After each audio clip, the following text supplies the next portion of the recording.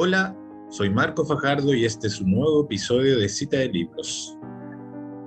Hoy día vamos a hablar de este libro, la autobiografía de un afroamericano, Frederick Douglass, escrita, publicada por primera vez en 1845, que fue reeditada por la editorial La Pollera. Un libro que cuenta la historia de este hombre, nacido como hijo de esclavos, que creció en una hacienda sin poder ir a la escuela y cómo, gracias a su espíritu inquieto, pudo aprender a leer para finalmente emprender el camino de su liberación. La verdad es que se trata de un testimonio muy impactante, muy conmovedor. Recordemos que la esclavitud existió durante siglos, si no milenios, en la civilización occidental por lo demás, también en Chile, hasta la independencia, hubo esclavos en nuestra patria. Entonces el destino de Freddy Douglass fue compartido por muchos habitantes de esta tierra, en Chile y el resto de América Latina, naturalmente. Les voy a leer un fragmento este, de este libro que habla justamente del nacimiento de Douglas, que dice así. Nací en Tuckahoe, cerca de Hillsborough, a unas 12 millas de Easton, Talbot County, en Maryland.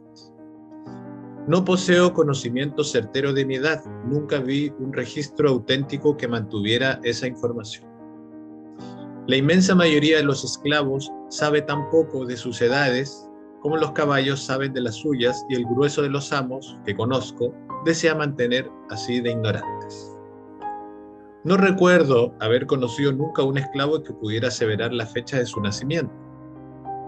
Muy rara vez conseguían aproximarse a una fecha estimativa, distinta de el tiempo de la siembra, la época de la cosecha, la época de cerezas, la primavera o el otoño. El deseo de información respecto a mi persona fue, incluso durante mi infancia, una fuente de infelicidad. Los niños blancos podían decir cuántos años tenían y yo no sabía por qué me estaba vedado ese privilegio. Me estaba prohibido preguntar cualquier cosa acerca de mi edad a mi amo.